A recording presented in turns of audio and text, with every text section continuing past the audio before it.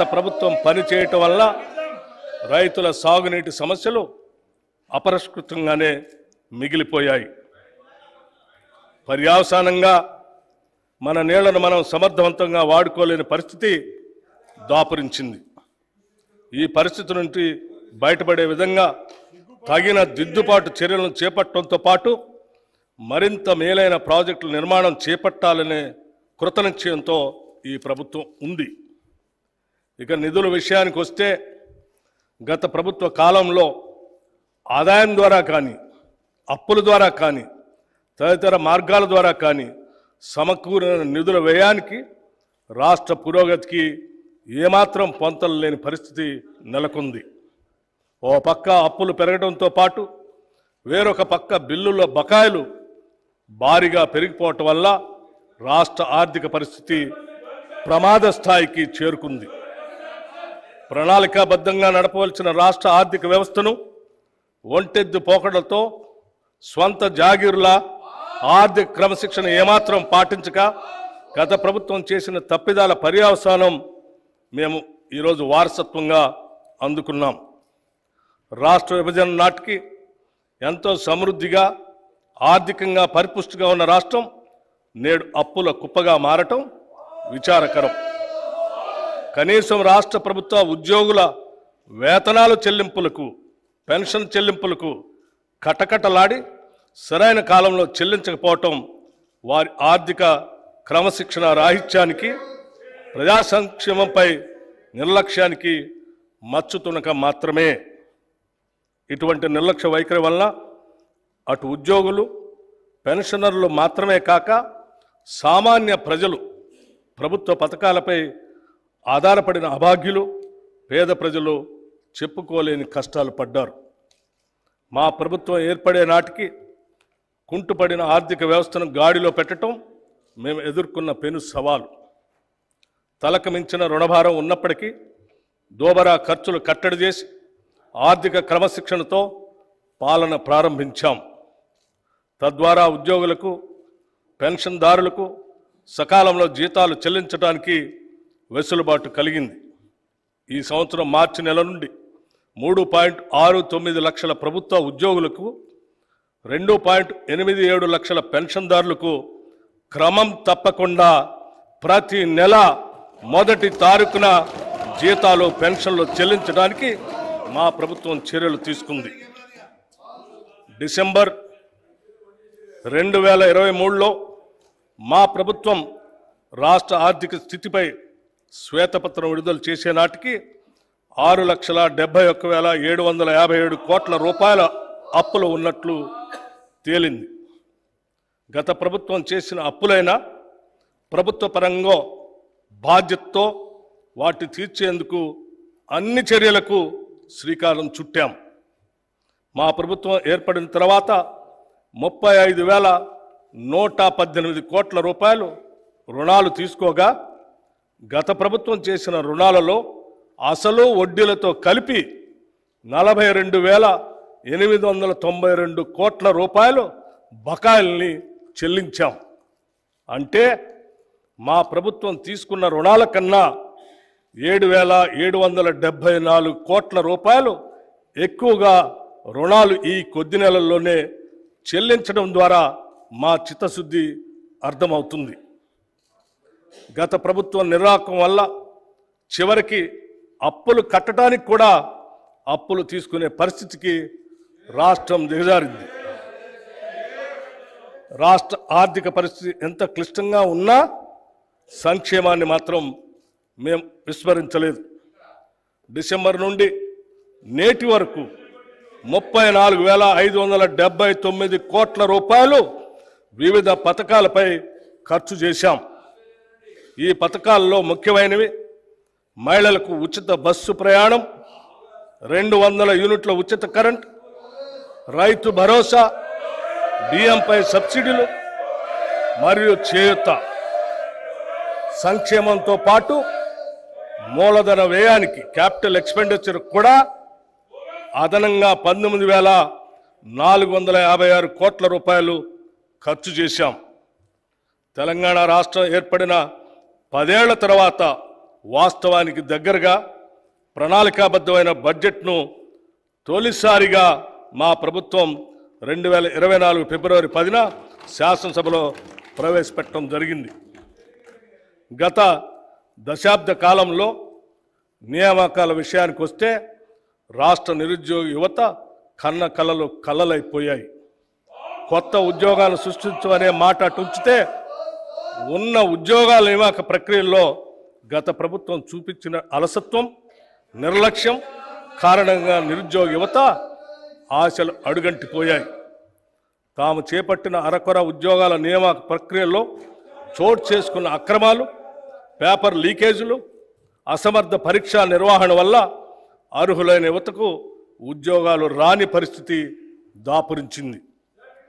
ప్రభుత్వ మరియు ప్రభుత్వ రంగ సంస్థల్లో కొత్త ఉద్యోగాలు సృష్టించడానికి ఉద్యోగ నియామక ప్రక్రియలో పారదర్శకంగా పనిచేయటానికి తగిన చర్యలు మా ప్రభుత్వం తీసుకుంటుంది.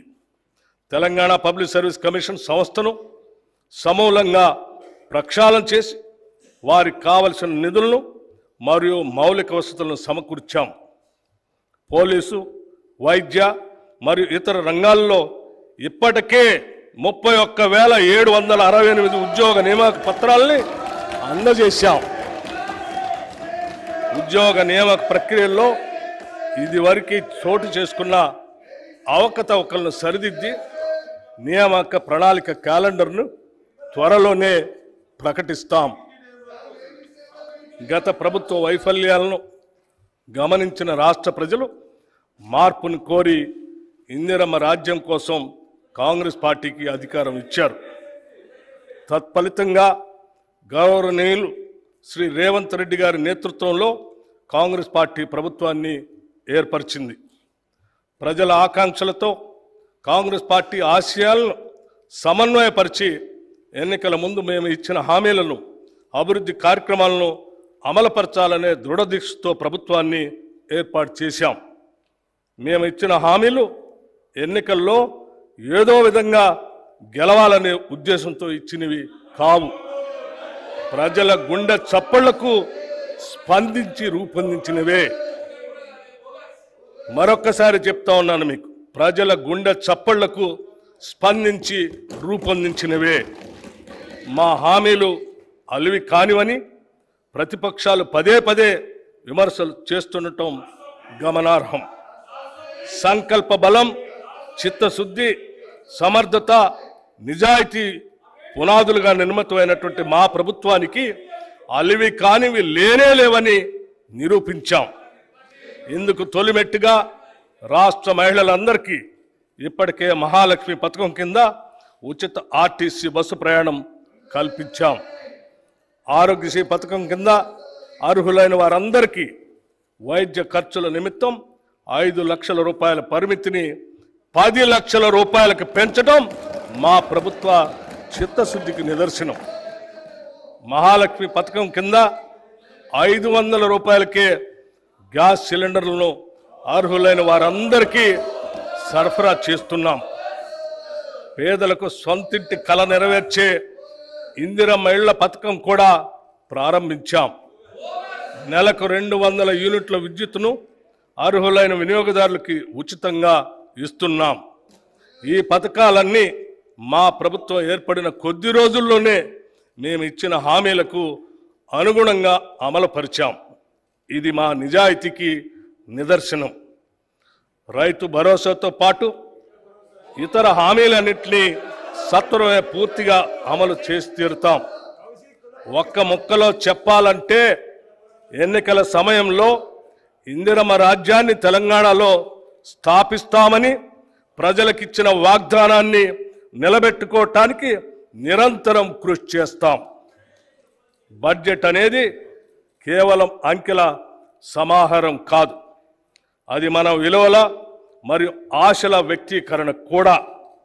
The budget is not just a collection of numbers but also an expression of our values and aspirations మేము ప్రవేశపెడుతున్నటువంటి ఈ బడ్జెట్ మమ్మల్ని నమ్మిన రాష్ట్ర ప్రజల ఆకాంక్షలు మరియు వారి నమ్మకాల ప్రతిబింబమే. తెలంగాణ రాష్ట్ర ఆర్థిక స్థితిగతుల గురించి రెండు వేల ఇరవై మూడు ఇరవై నాలుగు సంవత్సరానికి ప్రపంచ ఆర్థిక వ్యవస్థ మూడు పాయింట్ రెండు శాతం అభివృద్ధి చెందింది. ఇదే కాలానికి భారతదేశ ఆర్థిక రంగం ఏడు పాయింట్ ఆరు శాతం. తెలంగాణ ఏడు పాయింట్ నాలుగు శాతంగా వృద్ధిని నమోదు చేశాయి. అంటే గత సంవత్సరంలో తెలంగాణ వృద్ధి రేటు జాతీయ వృద్ధి రేటు కన్నా తక్కువ అని గమనించాలి. రెండు వేల ఇరవై మూడు ఇరవై నాలుగు ఆర్థిక సంవత్సరంలో తెలంగాణ స్థూల రాష్ట్ర దేశీయ ఉత్పత్తి జిఎస్టిపి ప్రస్తుత ధరల ఆధారంగా లెక్కిస్తే పద్నాలుగు లక్షల అరవై మూడు వేల తొమ్మిది వందల అరవై మూడు కోట్ల రూపాయలు. గత సంవత్సరంతో పోలిస్తే పదకొండు పాయింట్ తొమ్మిది శాతం వృద్ధి రేటు నమోదైంది. జాతీయ స్థాయిలో ఈ వృద్ధి రేటు తొమ్మిది పాయింట్ ఒక శాతంగా ఉంది. ఆదాయ వృద్ధితో పోల్చినప్పుడు పెరిగిన రుణం వల్ల ఖర్చుల కోసం ప్రభుత్వం రుణాలపై భారీగా ఆధారపడిందన్న విషయం స్పష్టమవుతా ఉంది. ఇటువంటి పరిస్థితి ఆర్థిక సుస్థిరతకు ప్రమాదం కలిగించేటువంటి అవకాశం ఉంది. ఆదాయాన్ని మించి నుర రుణం నిరంతరంగా పెరుగుతుందంటే కఠోర ఆర్థిక సంస్కరణలు తీసుకురాని పక్షంలో తెలంగాణ ఆర్థిక స్వస్థత ప్రమాదంలో పడుతుంది. దాన్ని నివారించాలంటే ఆర్థిక వ్యయాన్ని ఆదాయాన్ని సమన్వయపరిచే చర్యలు తీసుకోవాల్సినటువంటి అవసరం ఉంది. రెండు వేల ఇరవై మూడు ఇరవై నాలుగు సంవత్సరంలో ప్రస్తుత ధరల ప్రకారం రాష్ట్ర తలసరి ఆదాయం మూడు లక్షల నలభై ఏడు వేల రెండు వందల తొంభై తొమ్మిది రూపాయలు. జాతీయ తలసరి ఆదాయం ఒక లక్ష ఎనభై మూడు వేల రెండు వందల ముప్పై ఆరు రూపాయలు. దీనితో పోలిస్తే తెలంగాణ తలసరి ఆదాయం ఒక లక్ష అరవై నాలుగు వేల అరవై మూడు రూపాయలు ఎక్కువగా ఉంది. కానీ అదే సమయంలో తలసరి ఆదాయ స్థాయిల్లో జిల్లాల మధ్య తీవ్రమైన అంతరం కూడా ఉంది. ఉదాహరణకి రంగారెడ్డి జిల్లా తలసరి ఆదాయం తొమ్మిది లక్షల నలభై ఆరు వేల ఎనిమిది వందల అరవై రెండు రూపాయలు కాగా వికారాబాద్ జిల్లా తలసరి ఆదాయం ఒక లక్ష ఎనభై వేల రెండు వందల నలభై ఒక్క రూపాయలు. దీనిని బట్టి వివిధ జిల్లాల మధ్య ఆర్థికాభివృద్ధి సమాన స్థాయిలో లేదని తెలుస్తూ ఉంది. రాష్ట్రంలోని జిల్లాల మధ్య ఉన్న ఆదాయంలో అంతరాలని తగ్గించడానికి మా ప్రభుత్వం విధానాలను రూపొందించి అమలుపరుస్తూ ఉంది. రెండు వేల ఇరవై మూడు ఇరవై నాలుగులో తెలంగాణలో జోడింపబడిన స్థూల విలువల్లో గ్రాస్ వాల్యూ యాడెడ్లో సేవల రంగం ద్వారా అరవై ఐదు పాయింట్ ఏడు శాతం పారిశ్రామిక రంగం ద్వారా పద్దెనిమిది పాయింట్ ఐదు శాతం వ్యవసాయ మరియు అనుబంధ రంగాల ద్వారా పదిహేను పాయింట్ ఎనిమిది శాతం సమకూరుతుంది. ప్రస్తుత ధరల ప్రకారం రెండు వేల ఇరవై రెండు ఇరవై మూడుతో పోల్చినప్పుడు రెండు వేల ఇరవై మూడు ఇరవై నాలుగు వ్యవసాయ మరియు అనుబంధ రంగాల జోడింపబడిన స్థూల విలువ నాలుగు శాతం వృద్ధి చెందింది. రాష్ట్ర జనాభాలో నలభై ఏడు పాయింట్ మూడు శాతం మంది ప్రజలు ఈ రంగంపైనే ఆధారపడి జీవిస్తున్నందువల్ల తెలంగాణలో జీవల ప్రమాణాలను పెంచడానికి ఈ రంగం యొక్క ఆర్థిక ప్రగతి అత్యంత కీలకం. ఇక సర్వీస్ రంగంపై ముప్పై మూడు శాతం మంది పారిశ్రామిక రంగంపై పంతొమ్మిది పాయింట్ ఏడు శాతం మంది ఆధారపడి జీవిస్తూ ఉన్నారు. జాతీయ సగటుతో పోల్చినప్పుడు తెలంగాణలో శ్రమ కార్మిక శక్తి భాగస్వామ్య rate labour force participation rate అధికంగా ఉంది. ప్రజాపాలన సామాజిక మరియు ఆర్థిక ప్రజాస్వామ్యం లేనిదే రాజకీయ ప్రజాస్వామ్యం సఫలం కాజాలదు. ఆ రెండు కూడా రాజకీయ ప్రజాస్వామ్యానికి పునాది రాళ్ళు. పునాది ఎంత బలంగా ఉంటే ప్రజాస్వామ్యం అంత పటిష్టంగా ఉంటుంది. Political democracy cannot succeed without social and economic democracy. These two form the foundation of political democracy. The stronger the foundation the stronger the democracy. Doctor B R Ambedkar garu చెప్పిన ఈ సిద్ధాంతం మాకు శిరోధార్యం. త్రికరణ శుద్ధిగా ఈ సిద్ధాంతాన్ని నమ్మిన కాంగ్రెస్ ప్రభుత్వం దానికి అనుగుణంగా సర్వతోముఖ అభివృద్ధికి అసమానతలు లేని సమసమాజ స్థాపనకు అడుగులు వేస్తుంది. కాంగ్రెస్ ప్రభుత్వం ఏర్పడిన అనతి కాలంలోనే ప్రజాపాలనకు అంకురార్పణ చేసింది. డిసెంబర్ ఇరవై ఎనిమిది రెండు వేల ఇరవై మూడు నుండి జనవరి ఆరు రెండు వేల ఇరవై నాలుగు వరకు ప్రభుత్వ హామీలు అమలుకు రాష్ట్రంలోని అన్ని గ్రామాలలో వార్డుల్లో సభలు ఏర్పాటు చేసి లబ్ధిదారుల నుండి ఒక కోటి తొమ్మిది లక్షల దరఖాస్తులు స్వీకరించబడ్డాయి. వాటన్నిటినీ కంప్యూటర్ ప్రోగ్రాం ద్వారా క్రోడీకరించాం. వచ్చిన దరఖాస్తులన్నింటినీ పరిశీలించి వివిధ పథకాలకు అర్హులైన వారందరినీ గుర్తించి వారికి పథకాలని అందజేస్తున్నాం. ఈ సంవత్సరం మార్చి ఐదవ తేదీ నుండి ప్రతి మండల కేంద్రంలో ప్రజాపాలన సేవా కేంద్రాల్ని ప్రారంభించాం.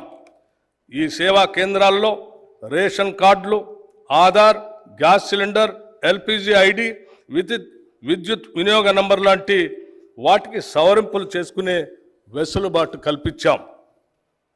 దివంగత మాజీ ప్రధాని శ్రీ రాజీవ్ గాంధీ గారు చెప్పినట్లు ప్రభుత్వం పేదరిక నిర్మూలనకు పథకాలకు ఖర్చు చేసే ప్రతి రూపాయిలో కేవలం పదిహేను పైసలు మాత్రమే నిజమైన లబ్ధిదారునికి చేరుతుంది.